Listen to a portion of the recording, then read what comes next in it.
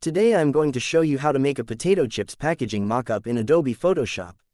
First open your quick selection tool from the toolbar, and click and drag over the chips bag to select it. Press Ctrl J to cut the image from its background. Double click on this, and rename it Subject. Press Ctrl J to duplicate, and rename it Highlights and Shadow. Disable the layer. Select the layer below, go to File, Place Embedded, and place your design, adjust the size and position. Hit enter once you're satisfied. Right-click and create clipping mask. Change the blend mode of this layer from normal to linear burn. Now enable the top layer, and then right-click and create clipping mask.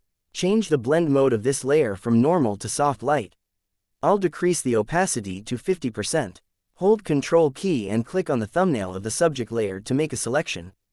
To select outside, go to Select, and Inverse. Select the background, click on the adjustment layer, and create a solid color. In the color picker, you can choose any color for background. So I'm going to select that. Then click OK once you're satisfied. Change the blend mode to multiply. Double click on this, and rename it background color.